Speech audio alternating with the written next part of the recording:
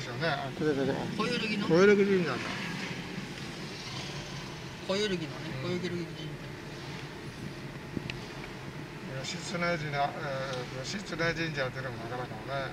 社あそこで結局義経がさそうここまで来て来たこうして追放さされた。んだ入れてもらえなもうじゃあ右に入ります、はい右に入ってください。